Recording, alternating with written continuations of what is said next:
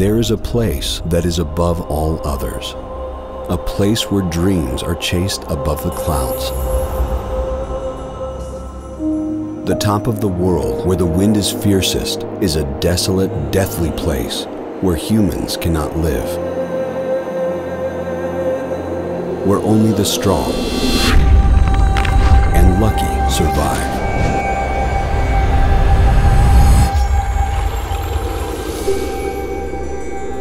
When I was a boy, my father told me that the highest mountain in the world is the home of the gods. My father warned me about the dangers on Everest.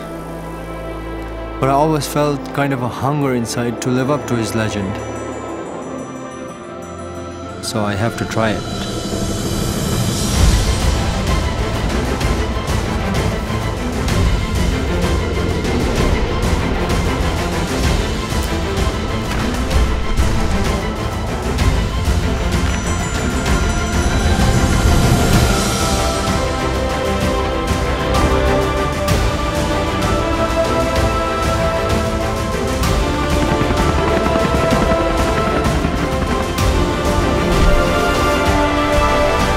Follow a team of climbers to a place few have dared to go and discover how they overcame tragedy to find hope, triumph, and inspiration on the world's highest mountain.